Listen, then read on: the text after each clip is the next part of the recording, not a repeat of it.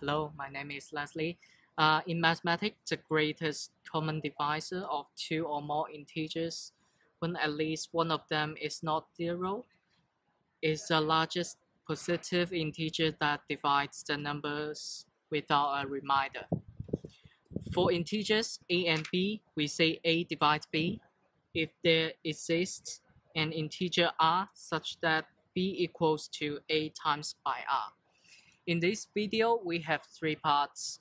The second part, Matthew will give us some brief examples of GCD. And the third part, Circle will give us some solution on how to do the GCD questions. Now Matthew will go through example of GCD and Euclidean algorithm. Okay, so um, so the GCD has just been introduced. So also the lowest common multiple of any two integers a and b would be the largest possible uh, positive integer that is divisible by both a and, a and b. So we have examples here. GCD of 8 and 12 would be 4, whilst the lowest common multiple of 8 and 12 will be 24, um, since it's divisible by, by both 8 and 12. Um, okay, so we can also use uh, prime factorizations to help with uh, GCDs and LCMs. So if we take an example of um, 18 and 84, um, we can split them up into their prime factorizations. And we can find the GCD by um, finding the product of the numbers in the union, whilst the LCM, um, the LCM will be the product of the numbers in the intersection. So we can have the GCD in the intersection and the LCM in the union. Okay. So we do this because the 18 and the 84 both have a 2 and a 3 in common. So for something to be a divisor of it, um, it would need to it would need to be a multiple of both 2 and 3 and the greatest one we can have there is 6 whilst um, for it to be a multiple um, it would need just the least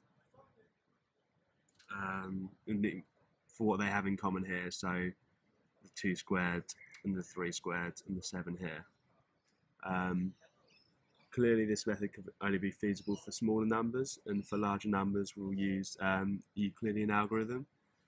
I'll just go through an example here for, for 210 and 45.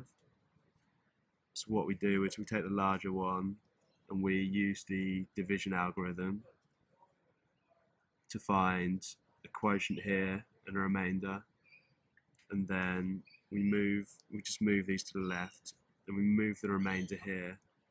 We have another quotient here, which is 1, and this time the remainder is 15.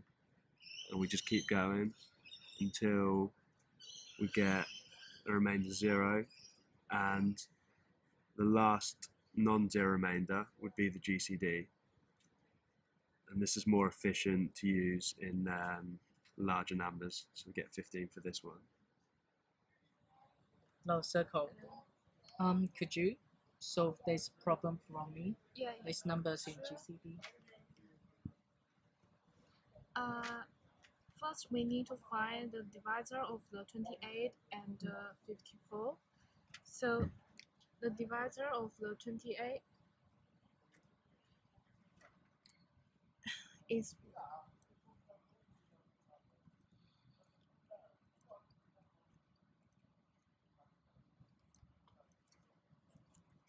So the divisor of 28 is 1, 2, Two. 4, 7, 14, and 28. Now we need to find the 54 divisor also. So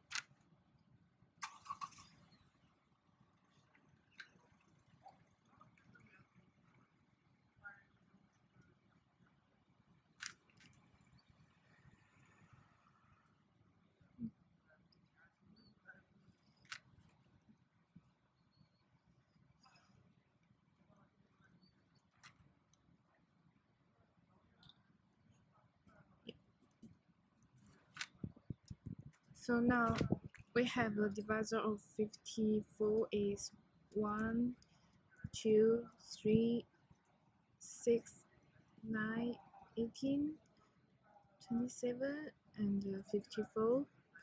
Now we find the sa- same number is 1 and 2. No, uh, yeah.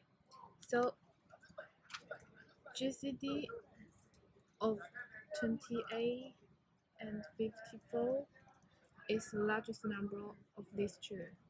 So Okay, so it's two? Yeah. Okay, thank you. Yeah. you. Thank you.